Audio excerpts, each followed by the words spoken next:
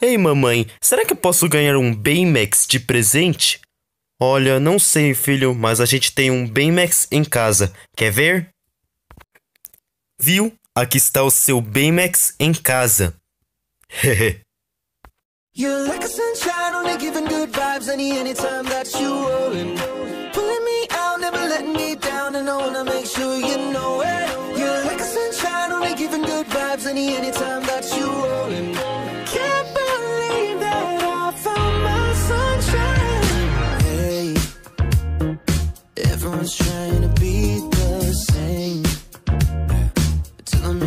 I was on that wave. But you really are something different. You do you, it must be nice. And I think it's rubbing off on me.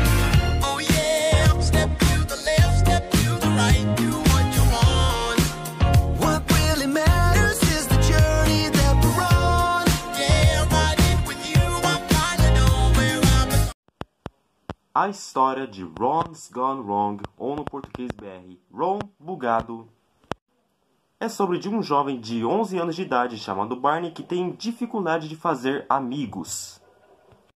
Mas que recentemente ele ganha um bebote, mas só que esse bebote estava com defeito, que ele se chama o Ron. Que ele até, tá- até tenta ser o melhor amigo pronto para uso do Barney. Mas só que por mais que o Ron está com defeito, os dois começam a fazer uma amizade inquebrável e inseparável de uma vida de amizade. E aí sim os dois começam a se dar bem na amizade. E agora, sendo que eu finalmente assisti esse filme lá no Cinemark em Bragança Garden Shopping ontem, que, nossa, faz tanto tempo que eu vi um filme novo de 2021 lá na Cinemark, porque o último filme que eu vi na Cinemark foi quando Space Jam o Novo Legado foi lançado. Durante o mês de julho, é claro. Mas voltando, já que eu terminei de assistir esse filme, o que eu tenho a dizer sobre ele? Meu Deus do céu. Eu amei! Tipo, nossa, ele sempre, ele simplesmente superou as minhas expectativas pra mim. Agora me deixa contar os motivos por quê. Número 1. Um, já faz um tempão em que a Disney deixa a Fox a fazer animações novas para os cinemas. Bom, bom. A última animação da Fox que foi lançada foi Um Espião Animal, que eu gosto de Um Espião Animal. É um filme, é um filme ótimo da Blue Sky Studios. Mas infelizmente a Blue Sky Studios faleceu. Ah, mas pelo menos a Fox continua fazendo animações sem a presença dela, não é? Ainda bem. Ah, e sem mencionar aqui que esse é o primeiro filme de um novo estúdio de animação chamado Locksmith Animation.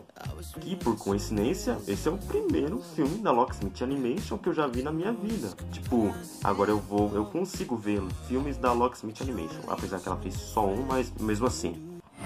Apresentando o Bebot. Ele conecta você ao mundo como ninguém nunca viu. Para você se expressar. Imaginação sem limites. 2. Assim como nos outros filmes, a amizade, na verdade, a ideia de fazer uma amizade entre o humano e o robô é muito bem feita. 3. O estilo da animação desse filme é bem esplêndida. Pai! Você comprou! Ele foi feito para criar conexões, Oi, Ambrósio. Sou seu melhor amigo pronto pra uso. mas algo É só me conectar, conectar, conectar, conectar. ficou um pouco fora do ar. Barney, o seu bebote é super freaky. 4. O filme inteiro basicamente me lembra uma versão da Fox dos filmes Operação Big Hero e A Família Mitchell e A Revolta das Máquinas, sendo que os dois filmes são de são filmes de robôs, né? Então, então o Ron Bugado é um, é um filme de robôs também. E também, não só isso, para ficar melhor ainda, esse filme é basicamente uma versão nova do filme Robôs de 2005. Crie. Jogue. Entre em um novo mundo de amizade com o Bebot. Vamos fazer amigos. Uou. Parabéns atrasado, Barney. Oh, pai, você comprou! Cinco personagens muito carismáticos, inclu- incluindo o Barney e o Ron, que por coincidência eles são os meus personagens favoritos. Olha só. E de fato, o design do Ron, que é esse robozinho aqui que eu tô segurando, aqui, que ele é bem fofinho. O design dele é bem fofo, até para um bebot. Número 6. Falando em bebots, todos os bebots com o design está bem feita e bem detalhada. Todas ganharam um robô de última geração. Menos o Barney. Ele ganhou o Ron.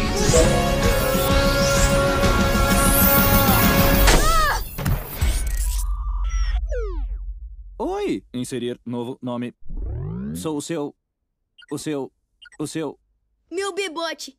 Bebote. Ah, não, sério? 7. Assim como em todos os filmes de amizade, a amizade, de, a amizade entre o Barney e o Ron simplesmente é muito bonita e fofa. E que, inclusive, esse filme vai te chorar muito.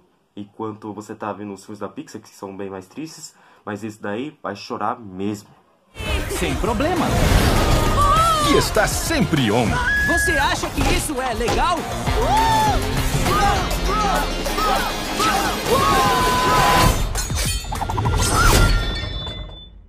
Talvez tentar desligar e ligar? Inclusive, eu quase chorei, na verdade, quase chorei um pouco em algumas cenas do, da amizade entre o Barney e o Ron, né? Mas eu não vou dar spoilers pra vocês, né? Porque vocês não assistiram o filme, né? Mas mesmo assim. 8. As piadas.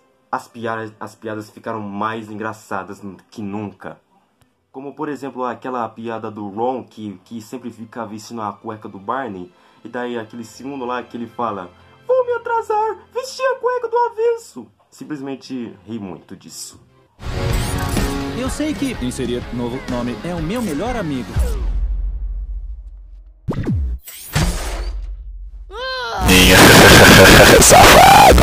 9. Bela trilha sonora, na minha opinião. 10. Basicamente, a minha música favorita desse filme é a música intitulada Sunshine, do artista Liam Payne. É assim que se pronuncia, né? Porque, na minha opinião, é bem divertida e grudenta. E também quando você está relaxando nas férias, especialmente na praia. Eu não tenho mega controles de segurança. Copia lá. Desbloquear, desbloquear, desbloquear. Acho melhor checar isso. Você acha? Esse é o tal do Mula. 11. Ótima escolha para o elenco desse filme, que inclui Jack Dylan Grazer, de Luca, Zach Galifianakis, de Lego Batman O Filme, Ed Helms, das Aventuras do Capitão Cueca, e Olivia Colman, da, da própria família Mitchell e a Revolta das Máquinas. O meu bebote tá com algum defeito. Ele não devia agir assim. Eu não devia agir assim. Uma nova era. Eu sirvo pra fazer amigos? O Barney precisa de amigos? Ué, é claro. Ou se não, ele não vai se dar bem na escola. E 12, e finalmente, isso daqui. Oi, Ambrósio, ou seja, Barney. Sou seu melhor amigo pronto para uso. Hehe.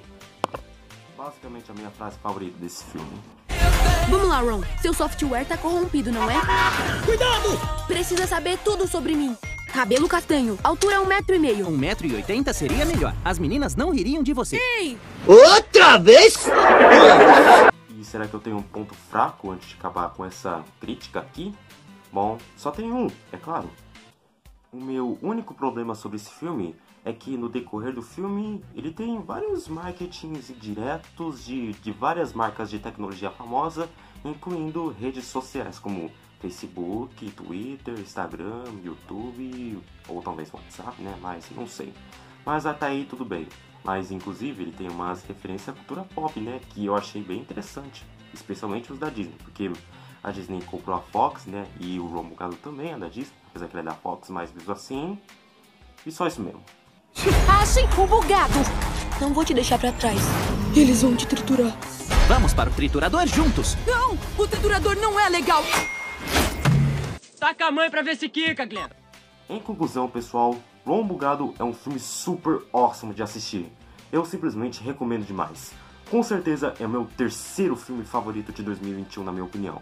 E também no meu segundo lugar de melhores filmes de robôs de todos os tempos, na minha modesta opinião.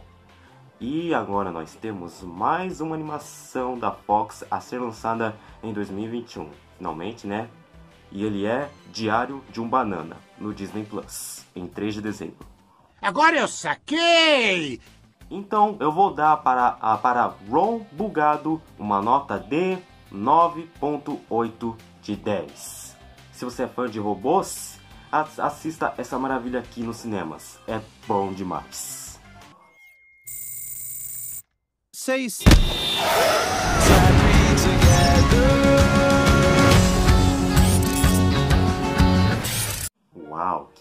que bela experiência que eu tive, né?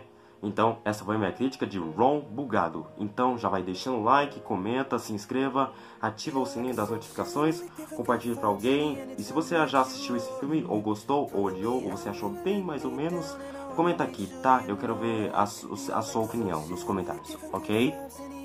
E não só isso, o meu próximo filme que eu vou assistir em 2021, no mês de novembro, será o, o próximo filme da Marvel Studios barra MCU Et- Eternos, lá nos cinemas. Tomara, né? Porque já, eu já assisti, já assisti A Lenda dos Dez Anéis nos cinemas, né? Mas vamos ver se eu consigo assistir Eternos nos cinemas, né? Mas quem sabe, né?